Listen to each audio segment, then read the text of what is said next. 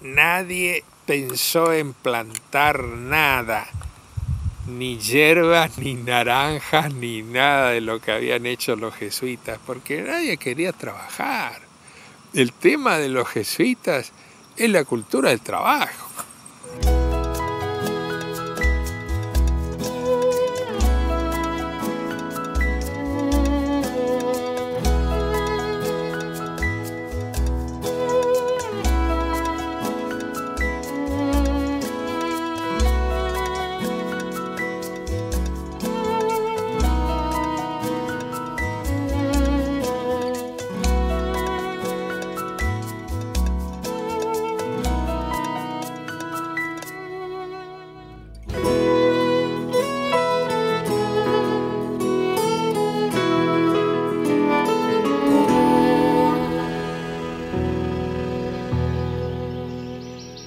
Hay un oficio de los cabildos guaraníes que es de 1598,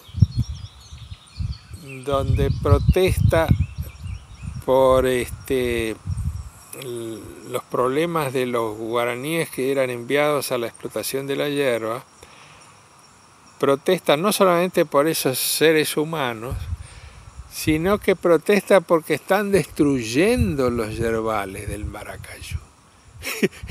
ya estaba hablando hace, no sé, como 400 años, ya empezaban a destruirse esos yerbales. Cuando los jesuitas reconocieron que no había nada del demonio en el hábito de tomar mate, reconocieron también que la hierba podía ser el motor no solo de su economía central, sino de su organización social. Cuando los jesuitas reconocieron que no había nada del demonio reconocieron también que no era del demonio, sino del rey de España, de quienes había que exorcizar a la nación guaraní.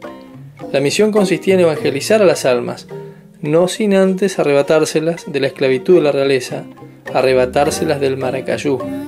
La misión consistía en salvar las almas, no de la hoguera, sino del genocidio guaraní.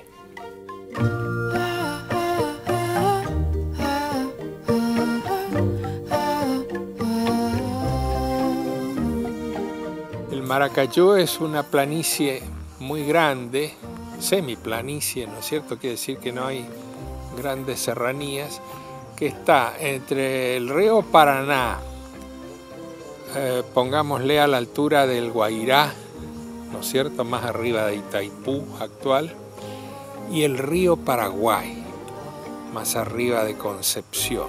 Entre esos dos ríos estaban los montes de Maracayú muy ricos en hierba.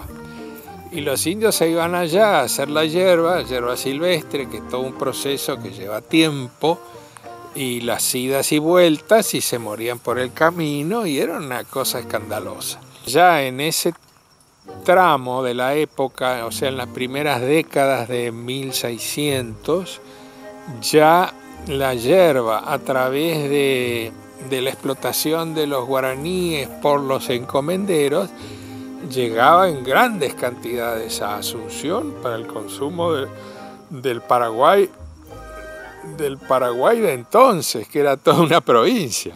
Ojo, nosotros también acá en Misiones fuimos provincia del Paraguay. El Yapeyú, donde nació San Martín, era del Paraguay. Bueno, este, entonces se convirtió en un producto de gran importancia económica en, en esta región.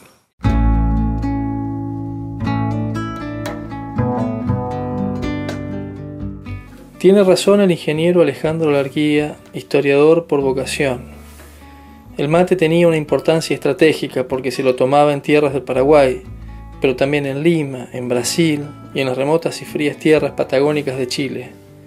Ni bien pisaron el monte y el lago Guaraní, los jesuitas entrevieron que administrar la comercialización requería pensar en administrar toda la cadena de valor para manejar el autoabastecimiento, la provisión y también manejar la producción yerbatera sudamericana.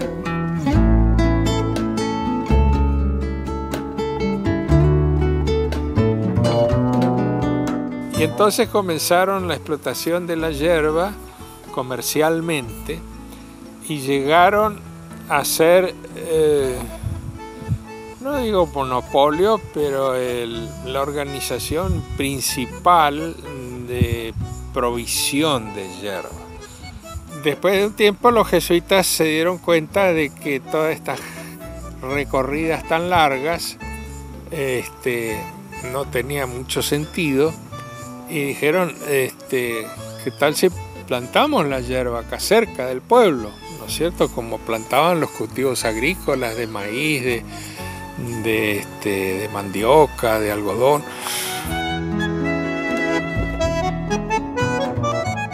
De las plantaciones, de esos primeros bosques de cultivo del país, brotaba la caamini, la suave hierba jesuita de campo.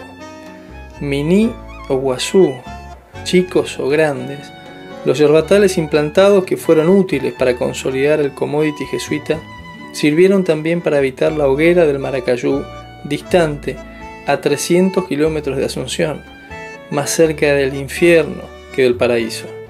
Y sirvieron los yerbales también para torcer la historia de la CAA, que es, como se dice la yerba en guaraní, la CAA, que es también, como se dice, como se cuida y se lleva en el mate a la selva guaraní en el idioma de los pueblos originarios.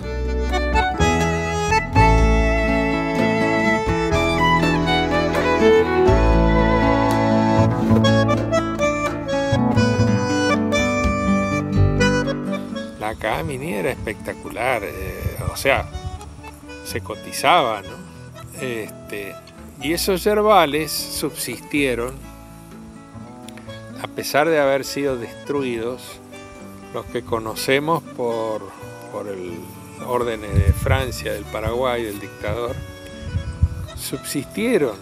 Y entonces, cuando Bonplan viene en 1820 a Candelaria, se pasa una semana estudiando, inventariando el yerbal de Candelaria, que era lo que quedaba del yerbal jesuítico.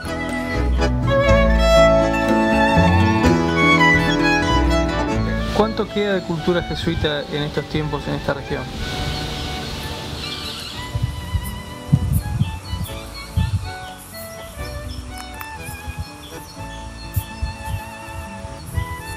Nada, yo no, no veo que quede nada porque este, los guaraníes que son las personas que tuvieron por tradición oral, por generaciones, la cultura guaraní, la cultura jesuítica, esos este, hace ya 100 años que desaparecieron mezclados, ¿no es cierto?, con otras, con otras culturas.